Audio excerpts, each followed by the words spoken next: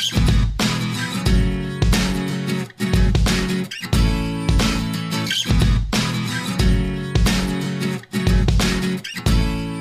las políticas públicas y el ambiente. Este es uno de los temas más complejos de los últimos tiempos. Nosotros debemos, de alguna forma, recordar que eh, en la historia del hombre, eh, el hombre ha intentado siempre el dominio de la naturaleza y de su ambiente por diversas razones, desde el miedo, la avaricia, la necesidad, etc. Y en su naturaleza ha estado tratar de dominar la naturaleza. Tal vez hoy, en nuestra situación actual, lo que debemos es dominar nuestra propia naturaleza para cuidar la naturaleza que nos rodea. Pero cuando hablamos de naturaleza o de ambiente, no nos estamos refiriendo exclusivamente a lo natural, sino también a aquello que ha sido la creación del hombre. Así lo ha definido eh, la Declaración de Estocolmo de la ONU, cuando se refiere a qué conocemos como ambiente. Ambiente es el lugar donde está inserto el ser humano y que debe ser cuidado para justamente la protección de sus intereses, es decir, de sus derechos. Y sus derechos tienen que ver con lo económico, con lo social, con lo cultural, lo espiritual, lo histórico, y a su vez con la defensa de todo ese entorno que nos rodea y que a lo largo de la historia hemos descubierto que es finito. En realidad, eh, en la historia de la humanidad, podríamos decir que recién ahora empezamos a escuchar aquellas voces que reclamaban la protección del ambiente. En primer lugar, después de la mitad del siglo y con la experiencia atómica, el hombre abrió los ojos a que el planeta podía terminar, así la raza humana estaba en peligro. Pero en realidad, a partir de ahí descubrimos que no solo las guerras endógenas de la raza humana podían acabar con el planeta, sino también esa guerra exógena que se estaba llevando contra la naturaleza.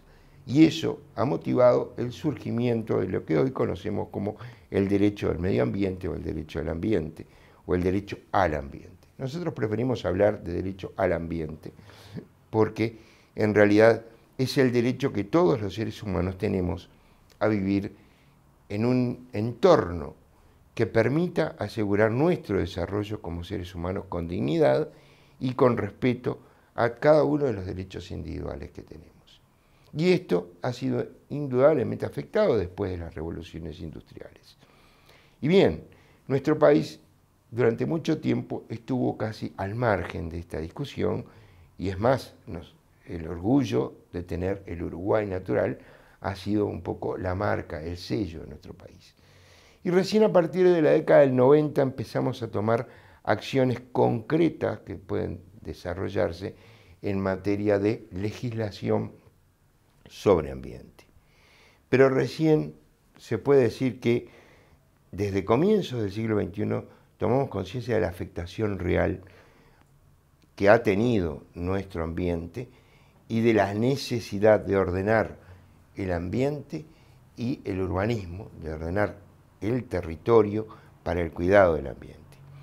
Y así, digamos, después de la primera ley del 90, de la creación del Ministerio de Vivienda y Medio Ambiente y Ordenamiento Territorial, es que llegamos a lo que hoy tenemos, que es una legislación bastante completa eh, a través de la ley 18.308 y sus leyes modificativas, que nos permiten hoy tener un panorama distinto de cómo se trata el tema del medio ambiente y sobre todo cómo se garantizan los derechos de las personas al medio ambiente. Hay que reconocer en primer lugar que el ambiente o el derecho al ambiente es un derecho subjetivo público colectivo sea un derecho que no se puede ejercer en forma individual. Y esto es por una razón sencilla, una razón que costó durante mucho tiempo entender, porque obviamente quienes manejan los, los hilos y el poder económico y social han intentado ocultarlo a través de las sociedades cerradas, del nacionalismo, etc. Pero la sencilla razón es que los problemas de ambiente no se detienen en una línea imaginaria trazada sobre un mapa, o no se detienen tampoco en un muro o en una alambrada fronteriza. No puede detenerse el viento, ni el río, ni el océano. Y entonces es posible tener esa convicción de que el cuidado del medio ambiente depende en primer lugar de la legislación internacional, de la legislación convencional. Y esto lleva a que cualquier emprendimiento de importancia que se realice tenga que pasar por un control de convencionalidad en primer lugar y de constitucionalidad en segundo lugar. Pero cuando nos referimos a políticas públicas, podemos señalar que básicamente tenemos políticas públicas que son directamente relacionadas con la protección de los derechos y políticas públicas que deben manejarse con un enfoque de derechos humanos. ¿A qué referimos con un enfoque en derechos humanos? A que estas políticas, que eventualmente siempre van a estar relacionadas con derechos para los hombres, para las personas, pueden no ser en principio directamente vinculadas a ello, como por ejemplo la construcción de una ruta o un emprendimiento, un desarrollo industrial, etcétera, que de alguna forma en su versión final van a beneficiar los derechos de las personas, pero que no están pensadas desde el principio como eh, políticas de protección a los derechos humanos. Pero ninguna de estas políticas puede obviar algo que es fundamental, que son ese enfoque en materia de derechos humanos y sobre todo en los problemas ambientales que esos desarrollos generan. Y en nuestro país lo hemos visto, lo hemos visto en la discusión con las papeleras, lo hemos visto en la discusión con la minería a cielo abierto, etc. Y esto ha llevado a que afortunadamente el país hoy tenga no solo una abundante legislación sobre el tema, sino también eh, la experiencia en materia eh, técnica, en materia de campo, para el cuidado de ese ambiente.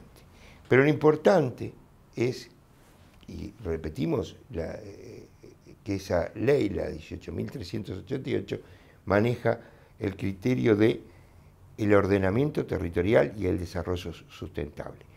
¿Por qué hay que entender esto? Porque el derecho al medio ambiente no significa la previsión, no significa el no hacer nada, sino que significa justamente desarrollar en forma sustentable las actividades humanas y los derechos del ser humano. Y esto implica un ordenamiento transversal y una coordinación de todas las autoridades y legislaciones en materia de ambiente. Esto quiere decir que cualquier emprendimiento debe de pasar por un análisis y debe respetar los principios básicos de lo que es una política pública de medio ambiente. ¿En qué consisten estos principios básicos? Están establecidos claramente en el artículo 5 de la 18.308, pero podríamos referirnos a modo de síntesis de respetar, de reparar los daños que se provocan y de restaurar el medio ambiente en lo natural. Y esto, hablábamos hoy, de que no solo estamos hablando de lo natural, sino de lo artificial también. ¿Por qué? Porque lo que tiene que ver con la acción del hombre a lo largo de la historia, su cultura, etc., es también parte de ese ambiente y debe ser manejado de la misma forma que el respeto a la naturaleza. Y así como decimos, los ríos, los océanos no son el patrimonio privado de un pueblo, de una nación, sino que son parte del de, eh, patrimonio de la humanidad, también decimos, parte de las obras del hombre son patrimonio de la humanidad. Así lo ha reconocido la ONU. Pero en realidad ya las pirámides de egipcias no son de Egipto. O la novena sinfonía no es propiedad de los alemanes. Es parte de la cultura y de la historia de la raza humana. Y quien tiene, eh, quien ejerce la función de guardador, tiene que tener la responsabilidad de guardarlos como parte del patrimonio de la humanidad, así como deben guardarse los bosques, los ríos, el sistema ecológico, la fauna, etc. Entonces, lo que decimos es, la legislación prevé en forma transversal que deben utilizarse todos los mecanismos frente a cualquier emprendimiento, ¿para qué? Para evitar los emprendimientos, no, para justamente que esos mecanismos puedan asegurar que los nuevos emprendimientos aportarán al desarrollo sustentable sin afectar el entorno, ni el entorno humano ni el entorno natural.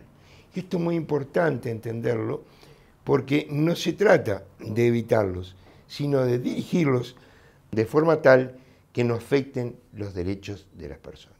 Y esto implica, por ejemplo, si vamos a hacer un, camino o vamos a hacer un tren o vamos a hacer una empresa, tener presente dónde vamos a actuar en ese entorno, cómo vamos a respetar el entorno, cómo vamos a respetar a las personas que están en ese entorno, cómo vamos a restaurar y cuidar los valores que existen en ese entorno.